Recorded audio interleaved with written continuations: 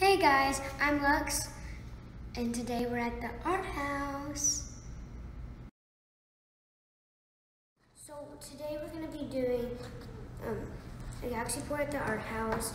What supplies you're going to be needing are napkin, stirring tool. The paints you're going to be needing are hot pink, black, white, blue, glow in the dark green, and oil. And I'll talk about the oil later. But first, what you're going to be doing, paint it black. And I already have mine painted black. So next one you're going to be doing is blue. We're going to be doing it into a swirl.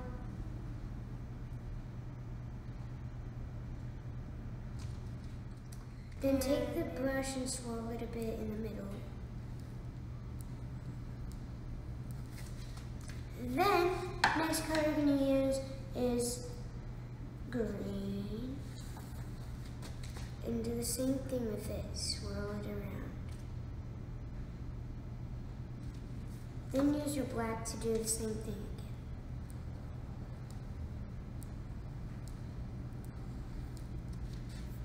Okay, next one you're going to do is grab your swirling tool, dip it in the white, then slowly and then fast, and make little stars.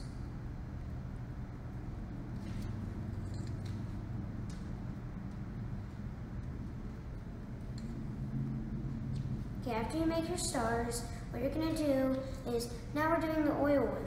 What you're gonna do is, when you have the cooking oil in, you're gonna pour all the colors, even the hot pink in. So, a little bit of each. Then you pour in green.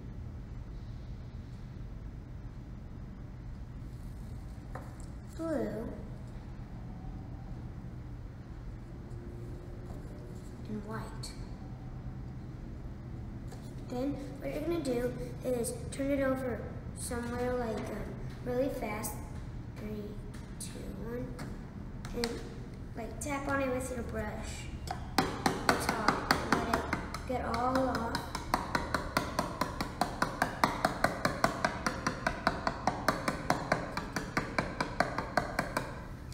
And then, after a little bit, lift it up, and boom, you have the very own planet. What you can do is add a little more of a color